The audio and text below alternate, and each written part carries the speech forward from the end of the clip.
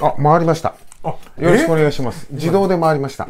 えー本日は紙のプロレス、船木さんが表紙の、えーナンバーアン3ですね。ナンバー3、安城洋二さんのインタビューになります。で、ここで僕僕がですね、まず気になったワードがですね、はいあの、ゴッチさんとはいルーテーズさんの名前を安城さんが出してるんですね。で、ちょっとそこを読みます。はい。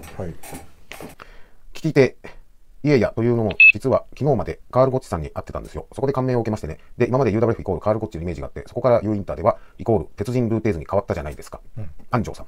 それは違うよ。ゴッチさんは来られなかっただけで、だけだよ。ゴッチテーズは同一のものと考えてもらいたいな。ごほごほとむせる。インタビュはいー、そこでむせますか？かっこ悪い。でね、僕が思い出したのは以前安城さんは、ゴッチさんルーテーズさんよりも、ビルロ、あ、ビル・ロビンソンさんから、ビル・ロビンソンさんから受けた影響が強いって言ってたことなんです。安城さん。それは確かだ。やはり、あの、おおらか、おおらかさがいいですね。ロビンソンさん、ロビンソンさんのストイックなイメージとかけ離れた、家に行ったらワインの瓶がゴロゴロしているような、おおらかな、おおらかクエスチョン。ただのアル中じゃねえか、かっこ笑い。ボケツッコミですね。うん、なるほど。聞き手、人間風車はアル中？かっこ笑い。安城さん、違うかいや、それは違うぞ。いや、うん。なんだこれ。テイさんにしてもゴッチさんにしてももうじじいなんだけどバリバリやってるじゃないですか。僕もそういうタイプじゃない。だから、やはりビル、ビル・ロビンソンかなと。これ、読んで、僕読まない方がいいです。紙 ここまで読んで言いますか？噛みっぱなし。聞き手、じゃあ、ゴッチさんとルーテーテーズさんには、全く影響を受けてない。はい。これテロップ出しますんで、皆さん。安城、ないわけじゃないですよ。ゴッチさんにしても、旧 UW の頃に、僕はしばらく付き人としてついたわけですが、付き人疲れたんですね、ゴッチさんが。うん。第一次 UW の頃うん、ですね。そうですね。健康法とか見ながら僕にはできないと思いつつ、こういう人もいるんだなということで感じるものがあったんですけど、聞き手、今回、いや、今回ご自宅に行ったらほんの少ししか器具はなかったけど、それでもいけない、これしかないけど、これ、それでも十分に人を殺す練習ができるよみたいな発言があって、安城さん、そういう人は良くないですよ。今の時代に合わないですよ。人を殺すことを考え、えー人を殺すことを考えるなんて、だったら特殊部隊とか何か入った方が、これ安城さん、ゴッチさんに噛んでますね。食らいついてますね。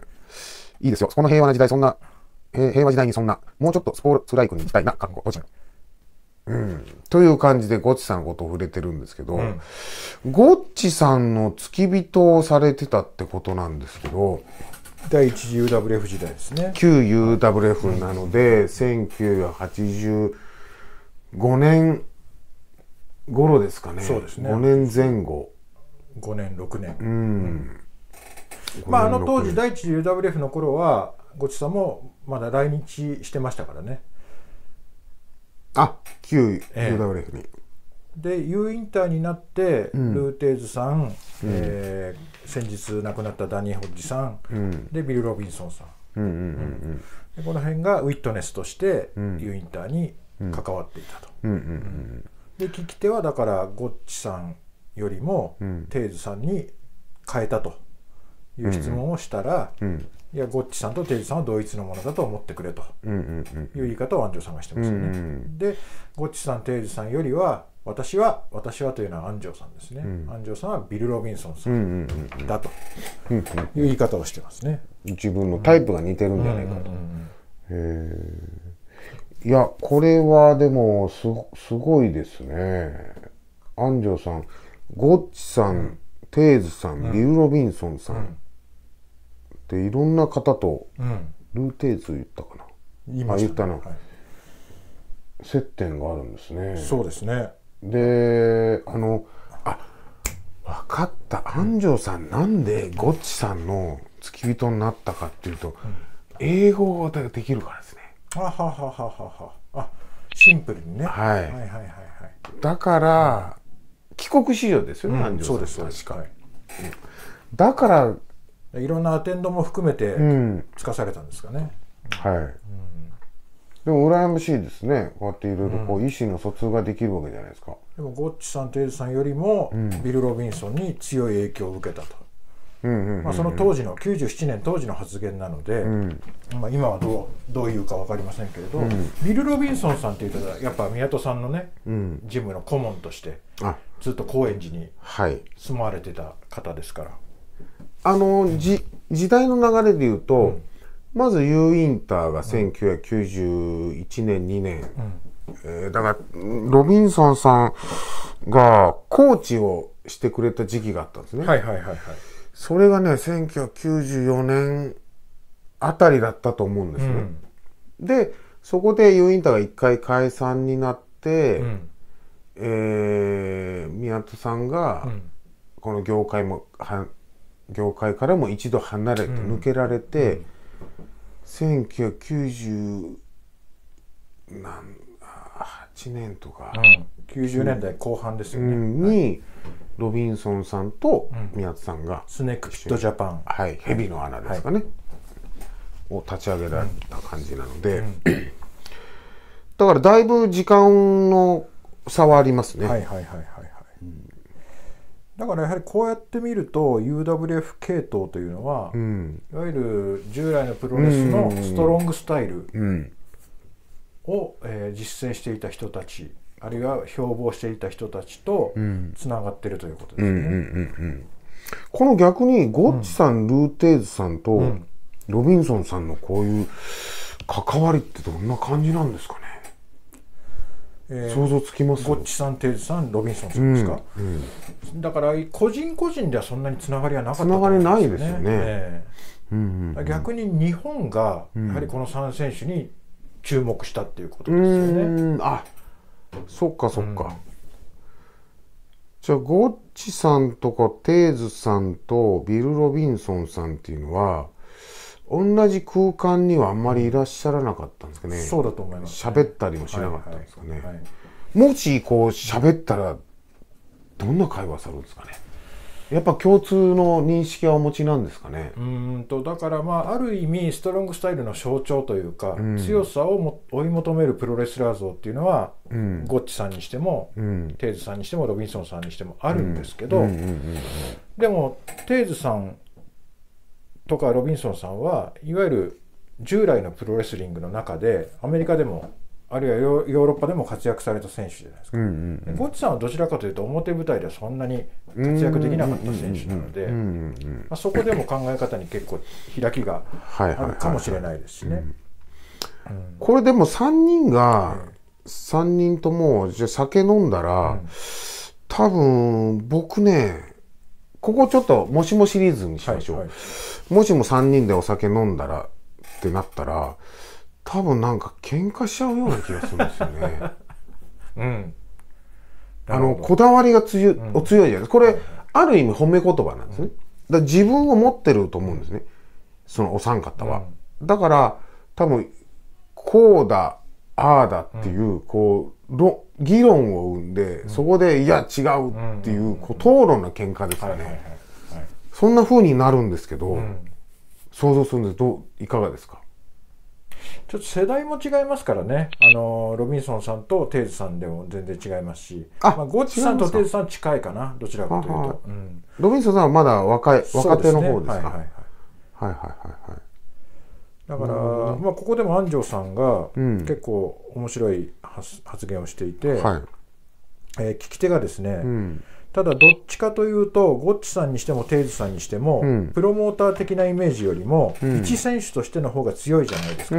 そうすると安城さんが、うん。いやそういう気持ちはあったはずですよと、ゴッチさんにしてもそれができなかったというだけでねと、うん。片やテイズさんは、ん。できたにしても失敗の連続でね向いてなかったというね、うん。そういう点ではゴッチさんの方が、えーテイズさんよりも幸せなのかもしれない、うんうんうんっていう言い方をしてますよね。うんうんでじゃあそこで選手としてもプロモーターとしても成功するという両方の成功を成功とするならば、まず安城さんの選手としての成功のために目指すものは何になるのかなと聞き手が聞くと、ん。安城さんは私はそんなものは目指しちゃおらんですもん。そんな面倒くさいって 難しいですよ選手としてのゴールがね、うん。単に団体内のエースとして終わるのか、ん。それよりさらに大きいものを見つけるのか、ん。それとも毎日ご飯が食べれて、ん。こんなに楽しく試合ができてよかったなっていうのが幸せなのか。プロレスができて嬉しいなっていうのが本当の成功なのかもしれないし、ん。非常によくわからないですよね、と、うん。まあ、この97年5月うん。に差し掛かる時期のキングダム旗揚げ前の安城洋二の心境としては、うん。えー非常にこう揺れている心境を、うん。ゴッチさん、テイズテイズさんに例えて言ってますけども、まあ、ちょっと巻き戻るとゴッチさんもテイズさんもただ強さを追求するだけではなくて、うん。ビジネスとして、うん。えプロモーターとしてやりたかった気持ちはあるんじゃないかと、うんうん安城さんは言ってるわけですよね。うんうんで実際テイズさんもアメリカで IWA っていう団体を起こして当時ニューヨークの 3WF かな？WWE の前身ですね。ほうほう。3WF っていう団体に対抗して、はい。えーテイズさん団体をやったこともあるんであすよ。そうなんですか、へえ。で旗揚げ戦とか覚えてますねこれ。ルーテーズ対ミルマスカラスですよ、マジっすか、ええ。で何万人の監修を集めたんですけど、はい。もうどんどん尻下がりになっていって、興行としてはあるいは団体としては失敗。うんうんうん。プロモーターとしては失敗した経験もあるんですね。ああテイズさんが、はい。ははでゴッチさんもやはり日本では、うん。えー強さの象徴、うん。あるいは無冠の帝王と言われてましたけれども、うん。アメリカではビジネス的にはそんなに成功はしてないわけですよ、うん一選手としても、うんうんうんだから逆にアントニオ猪木さんが、えーキャラクターとしてうん。無冠の帝王実力世界一っていうものを目をつけて、うん。ゴッチさんを光らせたと。いう面もあると思うんですね、うんまあ、これ猪木さんも猪木さん自身がそう言ってたこともありますし、うんだから強さを追求するというプロレスラーうん。格闘技者としての面と、うん。ビジネスとしてプロレスを捉えてる面と、うんうん。えーゴッチさんもテイズさんもロビンソンさんもそれぞれ持ってたと思いますよ。持論を、うん。すごいですね。何がですか？あの熱熱量がすごいですねもう飽きてるでしょ。いや飽きてない。あの僕はその時一応聞いてるんです。聞き役ははに聞いててえあのたまにこのゾーンっていうんですかね。30話に1回ぐらいはい、ぐわーっと熱量が上がる時があるんです。今上がってました？うん割とあそうですか、はい熱弁されてます。自覚がないです、あそうですか、えはははえ、すみません。いやいやいやいやすいませんじゃなくていやああの貴重なご意見をありがとうございます。今回こんなもんですか？え？なんかあります？いや次ねえあのこれが怖いんですよもう。突如こんなもんですかって言われるのが。もっとその話題に触れろということですか、いやいやさっきはあのそれはもう私のことはどうでもいいんですけど、ええ。逆にだからこの安城さんの、うん。えーゴッチさんテイズさん、うん。ロビンソンさん、うん。まあ、それぞれストロングスタイルの象徴と言われたうん。プロレスラーを安城洋二さんが接点を持ってはい。えやってるということに対して何か逆にタムちゃんの意見を聞いてみたいですよね。感想というか。いやあのーすすすごいすごい。なんですか すごいな。あでもルーテーズさんなんて、タムちゃん実際アメリカに行ってテイズさんのもとで修行してるわけですか？ら、そうそうですね。テイズさんの人となりはタムちゃんよく分かってるんじゃないですか？うんそうですね。はい。また改めてれあそうですか？だからまああのーゴッチさん安城さんがゴッチさんのお付きにうん。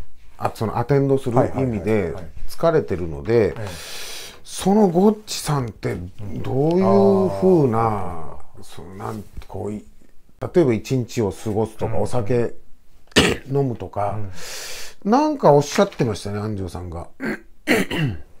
健康法だ、えうん。だからゴッチさんはこの当時も多分うん。こうある意味ちゃんと節制されてトレーニングされてはいはいはいでそれを多分安城さん目の当たりにして、この、えー健康法とか見ながら俺にはまあできないと思いつつって表現されたと思うんですけど、このこの当時のそのゴッチさんの健康法って何をしてたのかなっていうあそっちですか。聞きたい。なるほど。疑問。おそらくねタオルを使ったトレーニング法とかねそういうのは目にしたことありあます、ー。試合前とかですか？いや試合もう当時ゴッチさんは試合やってなかったので、タオルを使ってこう筋力を上げるみたいな。いやあのそのえっ、と旧 UWF の試合前に、ん。ゴチさんが若手の見本的な感じでトレーニングを見せてた。若手の見本というよりもゴッチさん自身がもうやっぱりトレーニング好きなので、うんうんうんもう暇さえあればトレーニングしてるといううんうんうん。イメージですよね。ほう。これ安城さんに聞いてみたいですね、まあ聞いてみたいでききじゃあ聞きに行ったらいいじゃんっていう、もし、視聴者がご意見あるんですけど。じゃあちょっと、願望としてはすごく聞いてみたいです。安城さん電話し番号知ってます？あ何ですか？そうですね。だからちょっと、えー主語を安城さんに戻すと、安城さんのインタビューなので、うん、うん、そうですね。はい。うん。だからこういういわゆるプロレスのストロングスタイル系の人たちに影響を受けた安城さんが、なぜオープンフィンガーグローブのルールをうん。作り出して、うん。キングダムという団体を作ったかというところがやっぱり肝になってくると思うんですね。ん。ここが時代の流れをこう見据える一番大きなポイントになってくると思うんですけど。でも安城さん、こういうちょっと真面目な格闘プロレスって、あんまり向いてないですよね。あそうですか。うん。あの、えそれは選手としてっていうことですか？選手としてですね。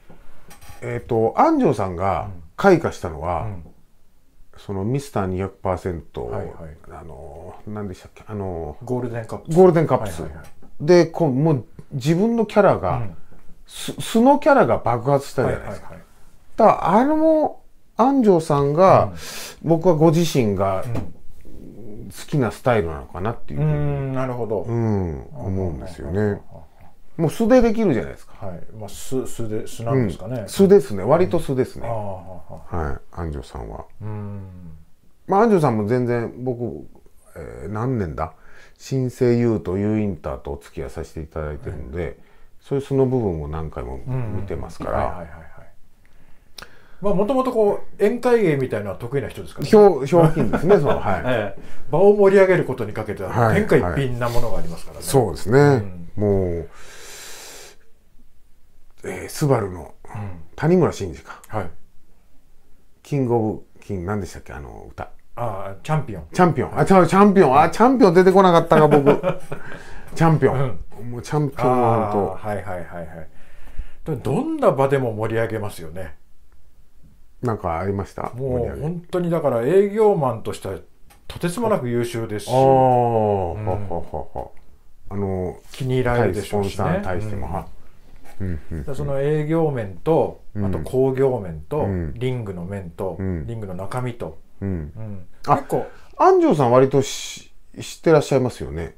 僕の中では、はいそうそうですね。はい私の中では、はいはいはい。結構いろんなこうマルチな才能を持った方じゃないですか、はいはいはいはい。だからある種その器用貧乏的になっちゃうところなるもあほどね。るのかもしれないですけどねん。それも本人は分かってはいると思うんですよ、うんうん自分の置かれているポジションとか、ん。自分自身の長所短所もん。すごくよく分かってる方だと思うので、まあ、クレバーですよね。これもう切りましょうか、一はい。回。もうだい何分だ ?20 分喋ってますすね。か、はい。